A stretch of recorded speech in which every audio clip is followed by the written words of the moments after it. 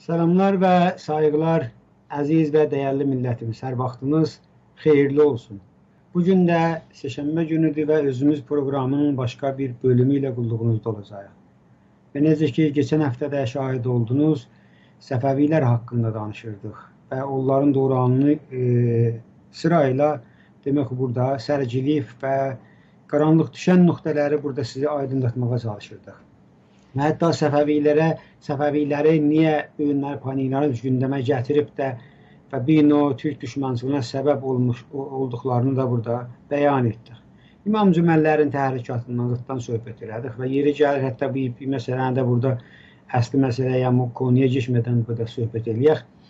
İmam Cümə Ayətullah Amilin də e, bir dənə e, Bunyad Şah İsmail Səfəvi keçən il söz söhbətini eləmişdi. İndi də o Bunyad Şah İsmail Səfəvinin də əsl mənada desək e, çabaları e, zaten türk düşmançılığın, yəni demək olar Şiə Sünni bəhsin və biz ilə e, Sünni türk qardaşlarımızın arasında ixtilaf yaratmağı və o zamandan özləri pumbaj elədiyi nifrətləri bu günləri gündəmə gətirməyə çalışmaqdır ki, keçən proqramda ən azı Urumu e, İmam Cüməsinin o yalan yanlış tarixdən axtardığı məsələləri burada sizinlə söhbətə qoyduq. Ancaq keçən proqramda da yadınızda olsa, Pərixan xanım haqqında bir söz söhbət getdi və dəyərli dostum Məmməd bəy dedi ki, və doğru yəni demə vurğuladı ki, Pərixan xanım haqqında da bir söz söhbət getsin. Yəni səbəbi imperatorluq zamanında tam desək 3 padşahlıq şah zamanında çox etki buraxan bir xanımdır. Burada yalnız bir dənə xanım söhbəti deyil. Yəni mən müqəddəmə olaraq bunu da qeyd etməm lazımdır ki, o zamanda düşünməmiz lazımdır. Yəni o zamanın durumunu eyni halda bu günə də bir-bir qoyuya çörpü vurmağımız da çox məncə maraqlı məsələlər ortaya çıxır. Yəni ümumi olaraq bunu desək, qadınların rolu Səfəvi imperatorluğu sürəcində çox parlaq, e, gerçəkdən də parlaq bir dönəmi yaşanmışdır. Eyni halda da ki, dini bir qolu inanclar ya bir qol pompaj elədikləri kimi şii şii inancı ki, hətta sünnilərdən daha da qadına sərt baxır. Bu bir dənə gerçəkdir. Eyni o dövrəndə, o dövrənin hakimiyyəti zamanında qadınların e, şey roluna baxırsaq, e, heç bir zaman yəni bunlar e, arxa planda deyillər. Yəni ön plandadırlar. İstər siyasət olsun, istər ticarət olsun, istər memarlıq olsun və başqa yan alanlar, hətta dini alanlarda, hətta birbaşa desək din, dini məktəbləri qurmaqda, alimləri müdafiə etməkdə, onlara məktəb qurmaqda, bu e, inancı yaymaqda çox-çox dərin belə rolları olub. Yəni birbaşa desək mən biraz mütaliə elədim bu haqqda da. Bunu bu sonuca yetirdim ki, qadınlar Səfəvi dövründə gerçəkdən də e, çox etki buraxan, illa ki da bu Umrani deyəm İlla ki də siyasi, umrani, e, mədrəsə tikintisi ilə, e, sən deyilən, e, bimaristan tikməsindən yol, körpü və bir çox şeyləri bu şeylərdə e, hətta erkəklərdən, kişilərdən daha çox rol oynayıblar. Yəni o qismlərdə deyə bildik ki, birbaşa bunlar bir dənə kültürel və e, dini anlayışdır desəm, umrani anlayışdır desəm, böyük belə addımlar atıblar. Böyük tacirlərdirlər bir tərəfdən də. Bəlkə fürsət olacaq bu da söhbət eləyək böyük yer alverləri eləyən adamlardılar. Hətta yəni şahların dərbarlarında yəni erkəklərdən daha çox bu işə e, zövq göstərən, bu işdə olan adamlardan söhbət edir. Və bunların içində də ki, keçən keçən şeydə bir dilə gətirirdik Pərixan xanım haqqında ki, bu ikinci Şah İsmaildən söhbət edirdik. İkinci Şah İsmailin zamanından bu e, demək olar e, şahın qızı özünü nə qədər istedadlı, nə qədər savadlı, nə qədər e, siyasətdə siyasət bilgini olaraq ortaya qoyur. Yəni zəkası əsasında gündəmə gəlir. Bir boşa da boşu boşuna deyil. Yəni bunları gündəmə gətirmək e, belə deyək ki, o zaman müsait idi. Məsələn, e, vəziyyət qəşəng idi, qadınlara hörmət qayıtdılar. Birbaşa desək, yox. Zaten İslam gələndən bu yana qadınlar birbaşa savaşdan, hər şeydən yoxsullaşdılar və günü gündən də e, arxa planlara götürülürlər. Çünki məzhəbi anlayış bir şeyə topluma hakim olduğu zamanda biz gerçəkdən də bu acını e, tarix boyu görürük. Apaşqara görürük ki, bunların əl qolları daha bağlı. Yəni bizim əski türk e, gələnəyimizə baxsaq, ta İslam gələndən sonra biz o kültürel anlamda qadınla erkeğin bir olduğu, beraber olduğu, eyni halda savaşlarda hər yerdə bərabər qoda savaşdıqlarını burada günü-gündən azalmağını görürük. Amma burada da Səfəvi dövründə də bu şeylər, qılğızımlar hala ate ateş yakırlar. Yəni savaşda da görürük bunlar e, şeyləri var, iştirakları var. Hətta elə saldıran savaşının söhbət eləmişdik. Burada da. Amma indi birbaşa birbaşa qadınlardan söhbət edirik. Gerçəkdən də bu o toplumun, ya bu toplumun, böyük yaşadığımız toplumun əsas yəni demək olar unsurları yarısı qadınlardır. Və arxa planda görünsələr də ən təməl işləri də onların gör gördüklərinə şahidik. Niyyəçi ki, həmən adamlar birbaşa bir öyrətmən kimin şahzadələri pərvəriş verirlər, onları öğüt verirlər, onları kimlikləri ilə, keçmişləri ilə, ənənələri ilə tanış etmiş, şahlıq, hökmdarlıq, dövlətçilik və qodilə unsurları onlara satdırmaqda, onlara eğitməkdə böyük bir çaba göstərirlər. O səbəblərindən onların haqqında danışmaq, danışmamaq məncə susdur. Danışmamaq haqsızlıqdır, e, birbaşa desəm. Sözü uzatmıram və sözü verəcəyim dəyərli dostum Məmməd bəy Rəhmanifərə. Necə ki, keçən proqramda e, vurğuladı Pərixan xanım haqqında və bu qadının və onun yanındakı elə başqa qadınlar da vardı. Bəlkə zaman sonlardan da söhbət eləyərik. Amma bu qadının böyük bir izi olubdu. Yəni gerçəkdən də bir şah qədər demirəm, üç dənə şahın zamanında böyük e, siyasi alanda özünü göstəribdi. Yəni çox qəvi halda. Bəlkə deyəm ki, onları əslən şahların neçəsini yönətibdi desək, e, boş söz deyil. Məmməd bəy sözü verəcəyim sizə və Pərixan xanım haqqında və özəlliklə bəlkə də qadınların e, nəqşi haqqında e, söz sahibisiz. Siz buyurun sizdən eşidik. Məsud bəy sizi və Künaz TV-nin hörmətli izləyicilərini mən də hər zamanki kimi salamlayıram və elə sizin dediyiniz kimi Səfəvi dönəmində qadın durumu və eyni halda özəl olaraq bugünkü qonumuzun demək olar başlığı da adı çəkilibdir. Başlığı olaraq da Pərixan xanım haqqında bu gün nəmsi Umuram ki, danışıqlarımız hörmətli izləyicilərimiz üçün də verimli və faydalı olsun. Biz qadınların durumundan danışanda bu coğrafiyada Məsud bəy 3 dənə məsələ nəzərdə almalıyıq. Çünki o hökumətdə ki, bu torpaqlarda yaranıblar və özəl olaraq da bu gün Səfəviləri danışırıq. Bu üç demək olar qaynaqdan su içiblər. Bu üç qaynaq bunlara etki buraxıbdır. Biri türk qaynağıdır ki, təbən bu hökumətlərin %99-u, yəni bir-iki dənə istisna qırağa qoysaq, türkdülər və türk qaynaqlı hökumətlər istər istəmə türkün törəsi, türkün o kültürü, fərhəngi bunların hökumət də də özünü bəzən daha çox qabarıq şəkildə, bəzən çox qabarıq da olmasa, biraz kölgədə qalsa da özünü göstərməkdədir. Biri İslamdır ki, təqribən demək olar hər zaman qabarıq şəkildə və hala davam ediyor Türkiyə şivəsi ilə desəm. Yəni fərq eləmir. Elə günümüz Türkiyəsi olsun, günümüz İran ölkəsi olsun, günümüz başqa ölkələr olsun. İstər istəməz xoşumuz gələr, xoşumuz gəlməyə o İslam ilkələri və o İslam kültürü və törələri və qanunları, yasaları elə bir nəmsi e, Türk dünyasında da necə ki başqa müsəlman ölkələrdə də az və üçüncü məsələ ki, özəl olaraq biz o təməddünlərdən, biz o uyğarlıqlardan və o demək olar imperatorluqlardan ki danışırıq. Bizim coğrafiyada şəkli tapıblar. Bu bizim coğrafiyada şəkil tapan uyğarlıqlarda və hətta bizim coğrafiya deyəndə Məsud bəy bugünkü o İran demək olar siyasi sınırlarının için demirəm, bəlkə ondan daha böyük də yəni bu nəzərdə ala bilirik. Çünki biz türklər bunu vaxtında proqramımızda əslən bir qonu oldu və bir proqram bunun haqqında danışdıq ki, Farscayı dünyaya səpələyən, yayan biz türklər olmuşuq. Bunun da dəlilləri haqqında danışdıq. İndi burada desək proqramın qonusundan uzaqlaşarıq. Amma bu vaxtı bu dili, bir dil sadəcə Məsud bəy, sən bir dənə ingiliscə öyrənəndə sadəcə ingiliscə bir dil olaraq deyil ki, sənin demək olar varlığa artırılır. Bəlkə ingilislərin kültürü istəməz ə, sənin demək olar o kültür xəzinənə. İndi olumlu və olumsuz yönləri ilə ha mən işim yoxumdur. İstər müsbət ola, istər mənfi ola, kollən o kültür də sənin o kültür xəzinəyə daşınır. Eyni halda ki kəlmələr. Ya fəqət let's go dər ki, sən o öyrənirsən. Bəlkə o kültürü də sən öyrənirsən. Bu ümumən bir e, psixolingvistik bəhslərində də vardı, yəni təzə bir bəhsdə.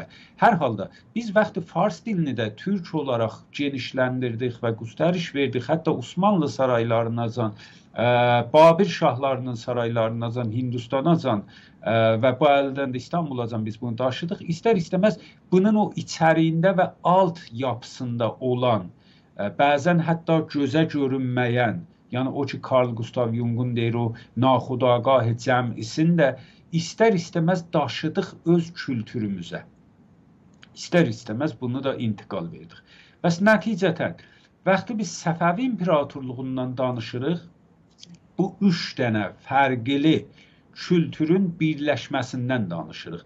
Səfəvi imperatorluğu dövründə qadınlardan danışırıqsa, bu üç e, fərqli demək olar dünya görüşünün, qadına baxışının birləşməsinə biz Səfəvi dövründə şahid ola bilirik.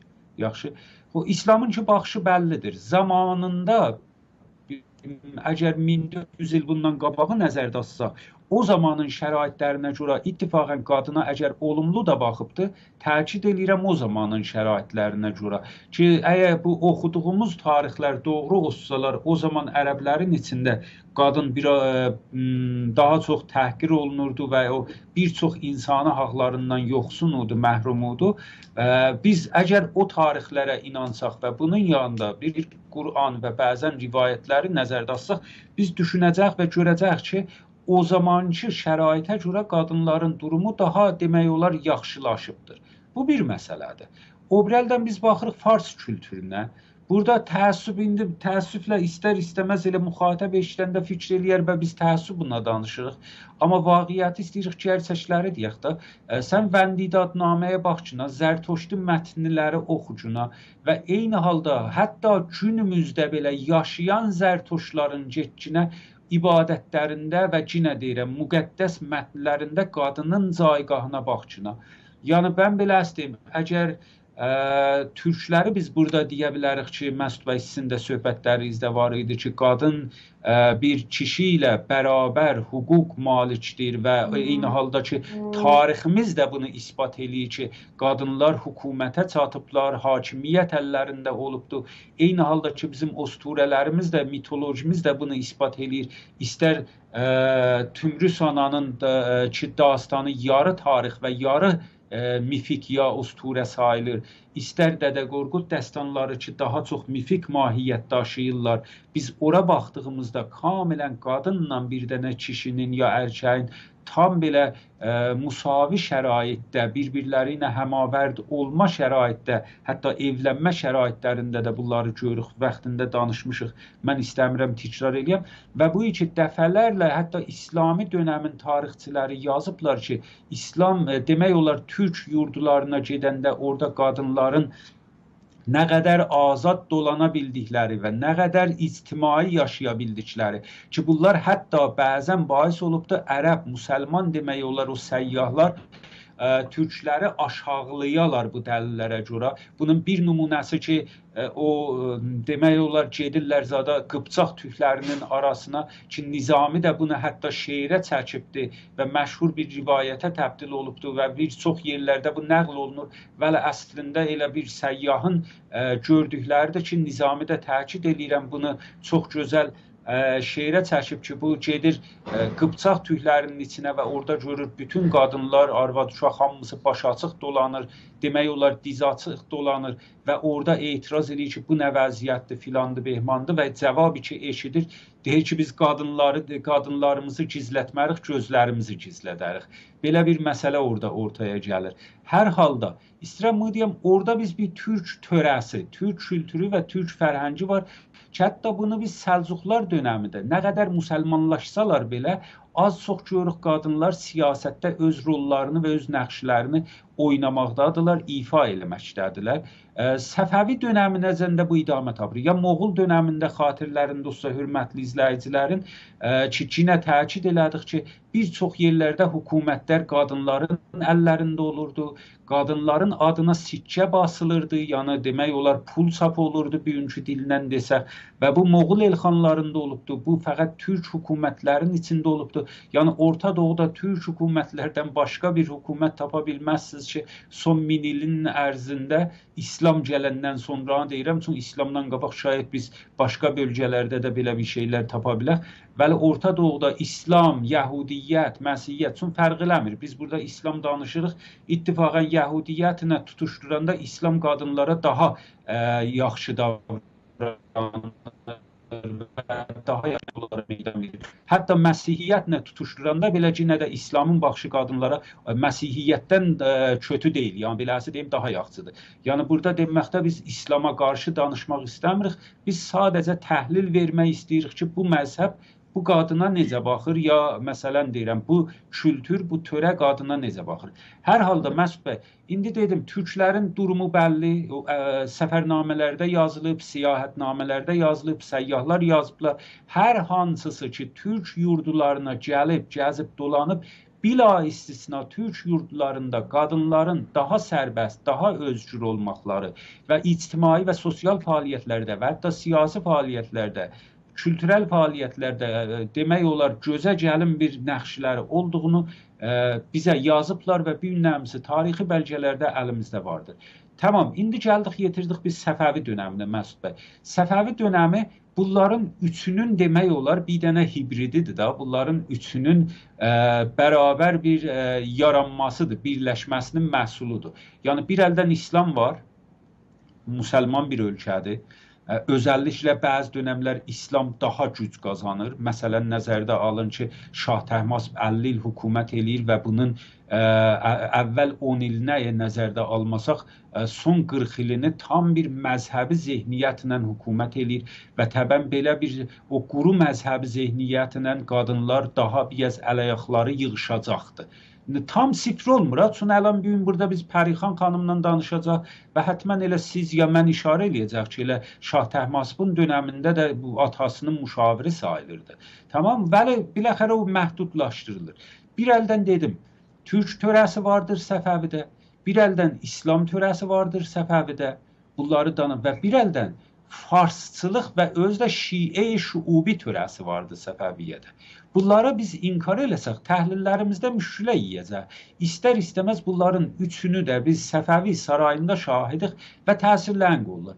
Fars şuubi şiəçiliyinin qadına baxışı elə bir Cumhur İslamının olan baxışıdır. Cumhuri İslami həmin mətnlərin əsasında bu gün qadınlarla bərxurd eləyir ki, ə, Əllamə Məclisi yazıbdır, Şeyx Koleyni yazıbdır, Şeyx Mufid yazıbdır və ondan öncəkilər yazıblar. Yəni bir gün nəmsə biri dura deyə ki, yox ki, əlif bu dəyər filan dəyər. Eynən o ki, bir zaman dedilər ki, ə, bu Əl-Qaidə ya Daesh filan çıxanda yox, İslam bu dəyər. Yaxşı? Yox qardaşım, vaqiəti danmayacaqsan. İndi Belə bir mən müqəddəmə istədim Məsud bəy açıqlayam ki, deyəm Pərixan xanımdan ki, bu gün danışırıq.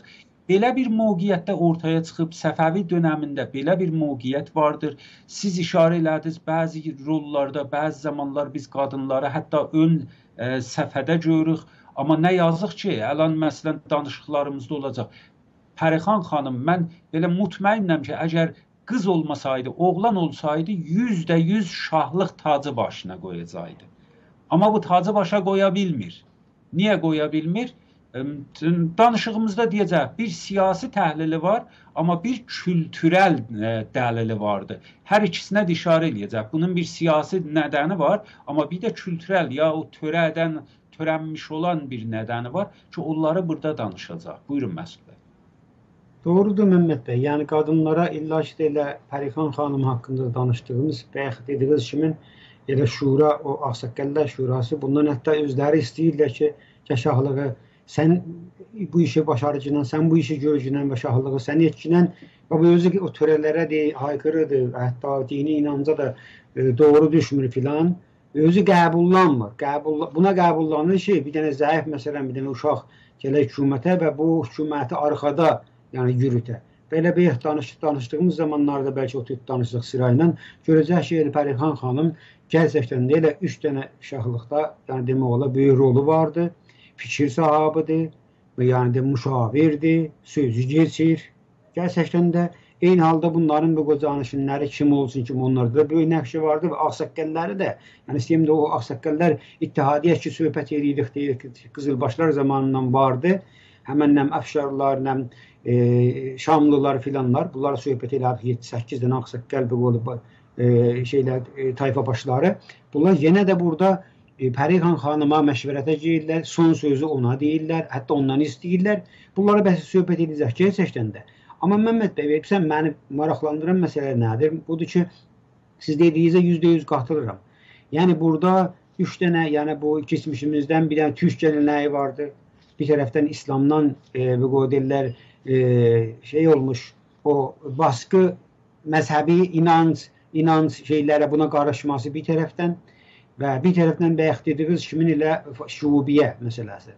Amma burada bir dənə əcaib bir şey ki, onu da danışmaq məncə yeridir. O da budur ki, həmən şiə şubiyyə məsələlərini, həmən bu mallaları da himayət edən aslına baxarsan, yəni e, şeyləri payları, qadınların payları və yəni qadınların deyən ki, bu hökumətlərdə olan qadınların ki, siyasi alanda və bu kültürel alanda, fərhəngi alanda çalışırlar və qolları daha da asıqdır. Yəni o alanlar zaten elə bunların ixtiyarındadır. Biz elə Osmanlı zamanında da görürük ki, bu xeyriyyə məsələsi, məktəb, dini məktəblərin, yəni demək olar başında duranlar şahın demək olar xanımıdır.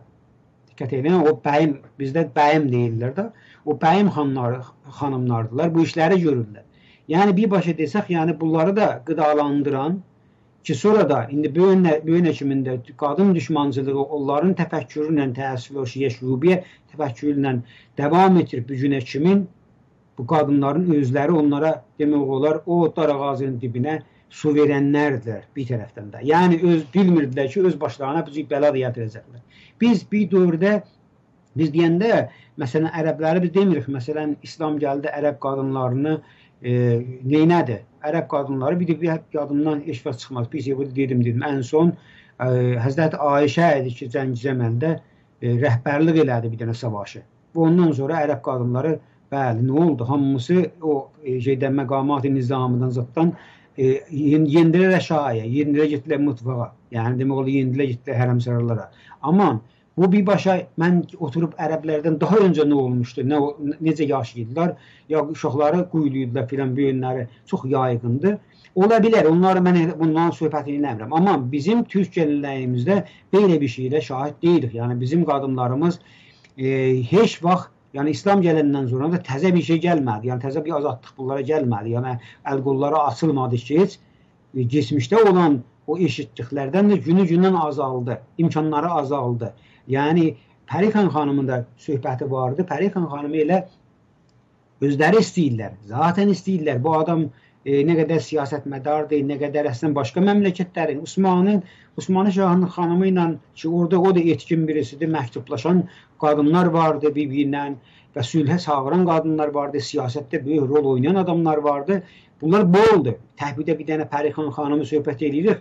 Belə gəlməsin ki, başqa e, yəni qadınlar yoxdular. Yox, başqa qadınlar da vardı. Bəlkə zamanı getsə mən 3-4 dənə sətdə Məmməd bəy burada yazdım hattaların. Elə Pərixan xanımın e, bacısı Zeynəb Zeynəb e, Zeynəb bəyimdir. Tazlı xanımdır birinci Şah İsmailin dedim xanımı da hələ ondan qabaq ki, Saldırın savaşına belə gedibdi, əsir düşübdi. Əsir düşür, sonra qızılların, sırqaların verib qutulur gəlir. Yəni belə bir qadınlardan söhbət edirik. Cəngə gedir, əsir düşür və özünü oradan canını qurtara bilir. Və başqa qadın vardı ki, elə savaşda əsir düşüb Osmanlı e, sarayına götürülür. Bunların hamısı da şahidik. İstəyim deyim ki, aman Məmməd bəy, bir dənə çöpü vursaq bu günümüzə gəlsək çıxsaq, Və sonra keçək Bəqoli Pəri xanımın elə o dövrəndə e, bir-bir şahlarının Şah Təhmaz, ikinci Şah İsmail və Məhəmməd, e, Məhəmməd Şah Xudabəndə. O dövrəndə bu üç dövrəndə bu çox etki buraxan birisidir. Ona keçək, ona keçmədən qabağa desək, birbaşa desək, qardaşım, qadınlar yəni e, gündəmə gətirilməyibdi.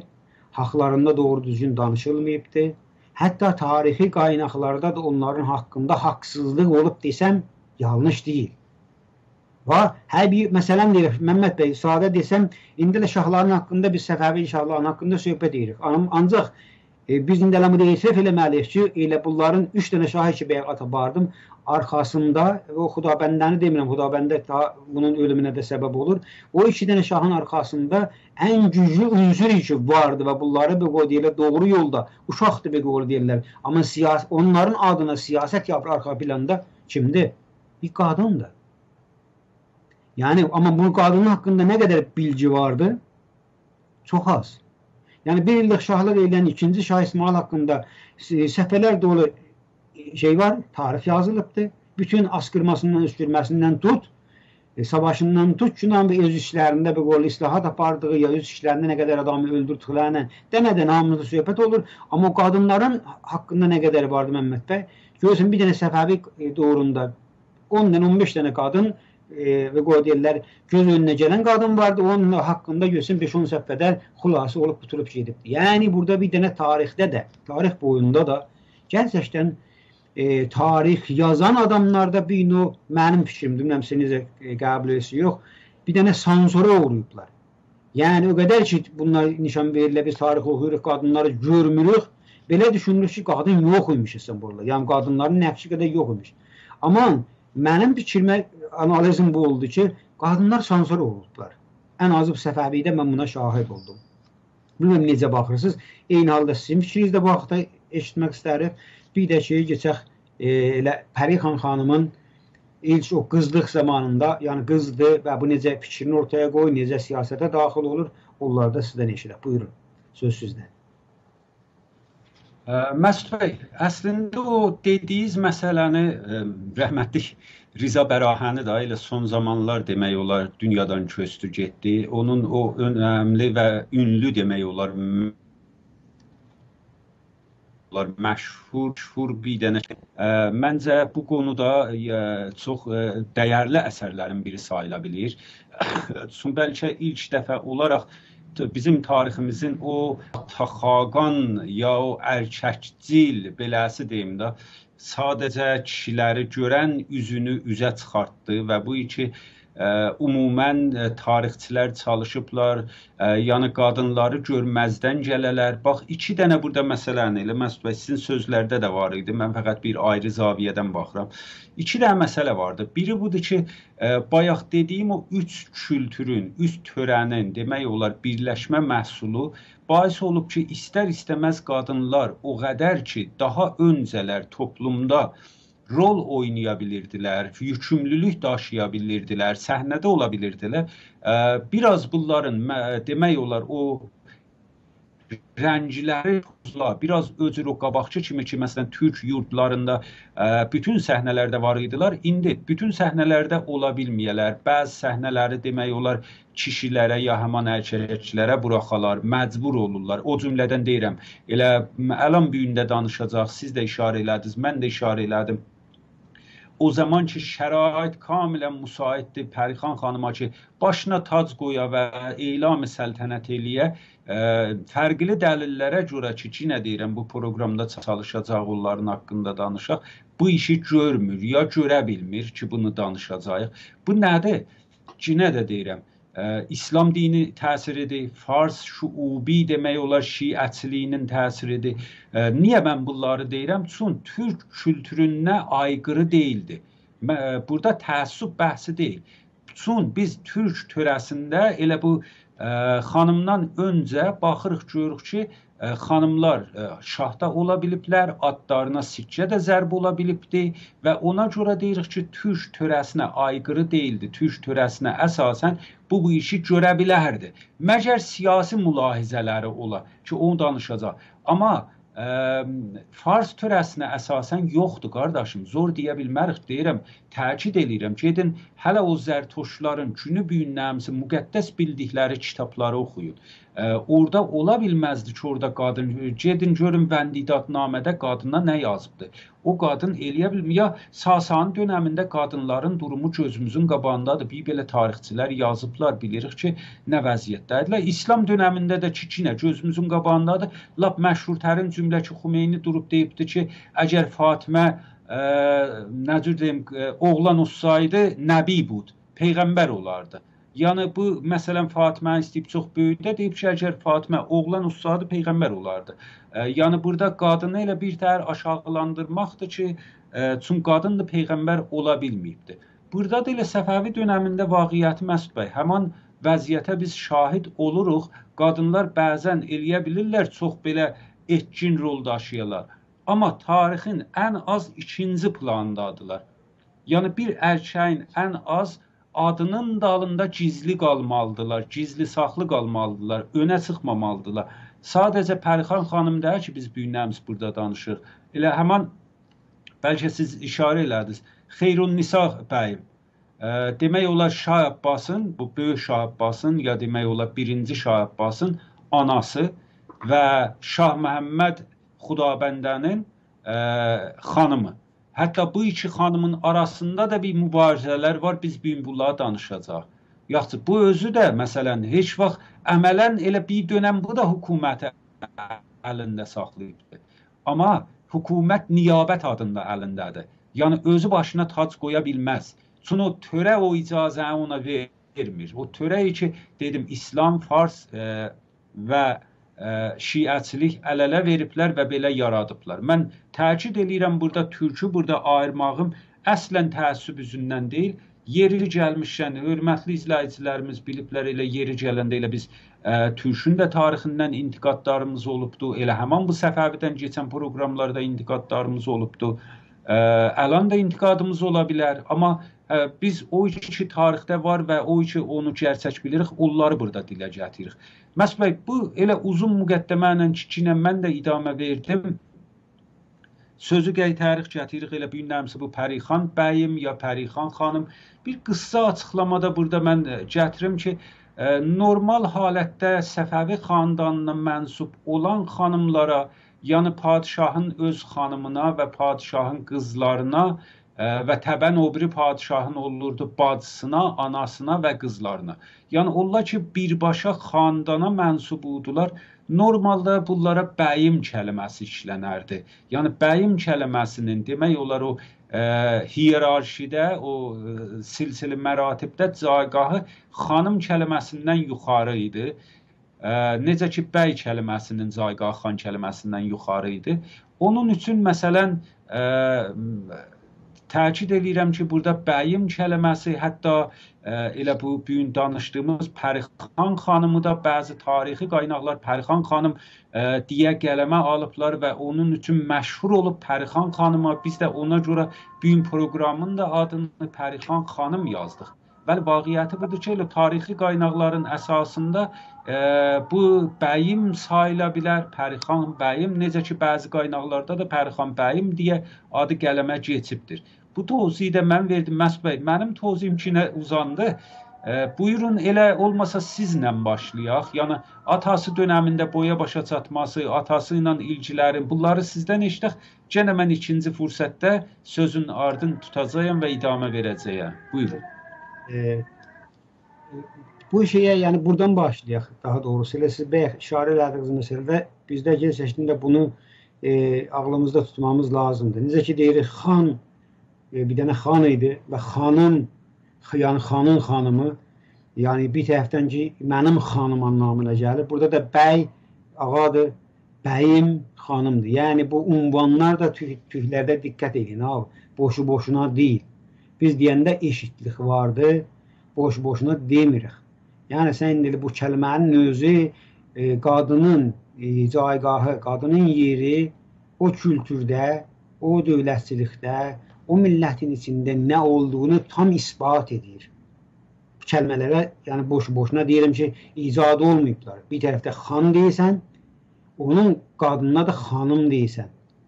Bir tərəfdə bəy deyirsən, bəylər bəy deyirsən, bu yanda bəyim deyirsən. Necə xanım mənim xanım deyirsən, burada da bəyim mənim bəyimdir, yəni demək olar anlamına gəlir.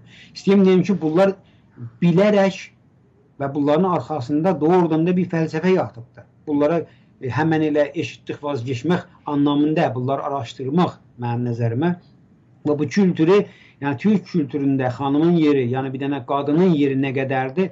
Bu kəlmələr tam anlamı ilə ortaya qoyur ki, dünyada bədəlsizdir belə deyə bilirəm. Bu bir tərəfdən Yəni illa illa işte bizim ətrafımızda yaşayan kültürlərin içində bədəlsizdir. Mən dünyanın bütün hər, hər yerində necə olur, necə olmur, onlardan qədər xəbərim yoxdur. Boşuna da bu sözü demirəm. Amma bizim ətrafımızda bizimlə ilişkidə olan kültürlərin içində gəlsəşdində bizimki bir dənə e, yəni olar parlayır. Ən azı bu fəlsəfədə, bu anlayışda, bu kəlmələrdə, ifadələrdə biz bunları görürük. Ki kültürel nöqtə bir yaxın söhbət elədi Məmməd bəy. Çox doğru bir nöqtəyə işarə elədi. Yəni ələn Pəri xanım haqqında, Pəri xan e, bəyim haqqında söhbət gedəndə bu bir dənə gəncliyində demək ki, elə Şah Təhmaspın qızıdır və qızlıq zamanında da deyirəm bu birisi qızlar da vardı. 3-4 dənə qızı vardı. Bunların ham hamısı etki buraxa bilirlər. Olsa da bunların haqqında bir balaca danışacağıq. Yəni deyəm ki, məsələn, e, məktəb qurmaqda, yol yol e, inşa etməkdə, e, bimaristan inşa etməkdə, yəni çox-çox mühüm rolları var. Hətta məktəb e, yola salıblar. Onda qadınlar dəstəkməkdə. Bunlara biz şahid oluruq bu, bu doğranda. Amma bu da Pəri xan xanımdan söhbət gedəndə e, birbaşa bir dənə zəki birisidir. Dərs oxumuş birisidir, məktəbləri ali dərəcədə bitirmiş birisidir.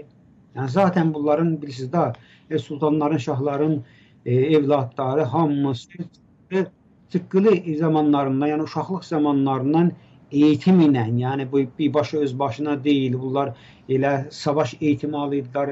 E, fiqh burada Pəri xan e, bəyimdən söhbət edirik. Bu özü fiqh, yəni demək olar dini şeylər, e, dərslər almış, yəni zəki birisidir. Fikir sahibidir, diqqət eləyin. Gənc birisidir və bu adamdan ki, biraz söhbət edirik və deyir, üç dənə döyranı e, demək olar yaşayacaqdır bəlkə də nəzərə ediləcək uzun ömr eləyibdi. Yox, uzun ömrü mən bildiyim qədərilə 30 yaş, yəni ölümü 30 yaşında olub. Hələ yəni bu adam daha da güclü bir demək olar unsura təbdil olub, daha da e, görkəmli bir e, şey e, kimliyini sərgiləyə biləcəyidir. Bəlkə də ona mazal verilmibdi. Və üç doğrandan söhbət, üç dənə doğran şahlıq e, doğrandan söhbət edəcək. Bu adamın etkisi vardı. Bu adamın zəkasından da söhbət gedir bu adamın təhlillərinin doğru, siyasi təhlillərin doğru olduğundan söhbət gedir. Şah Təhmaz heç bir iş, mən neçə dənə qaynaqlara da baxdım, bütün yəni işlərində, siyasi işlərində, vəzir seçmələrindən tutcunan, yəni ilişki qurmaq, yəni başqa xanlar ilə başqa hakim, hara hakim, nəyi kimi seçmək şeyində gələndə, yəni ən mühüm dövləti məsələlərdə heç birində Pəri xana e, xanıma demədən, onun fikrini almadan bir iş görmür. Və bunu da onun bu zamanda öz dədəsinin üstünə etki buraxar anlamında deyil. Dədəsi ona nə qədər ehtiram qaldı. Bir tərəfdən də bu dədədən söhbət edir ki, bir tərəfdə qrup və qor deyirlər, quru dini məzhəbi düşüncəsi var şədidən. Yəni bir başa desək ki, təmas bu e, dini e, məzhəbi anlayışda e, o, quru tavrını Yəni o nə deyim axı, daha da bu dini şeyləri yerinə yetirməsini ən sərt şəkildə yerinə yetirən birisidir. O biz şəhərlərdə bəlkə vardı, deyirəm ki, danışacaq, hətta sünnilərə yaxınlığı da vardı. Amma bunun şiə, şiəlik unsuru daha çoxdur, dini inancı daha da kəskindir və bunlara baxmayaraq bu adam qızıdır. Bu adam burada e, siyasi alanlara necə çıxır və necə özünü nişan verir Bunun istedadı, zati istedadı da bir tərəfi məsələdir. Yəni bunun bazıları da var.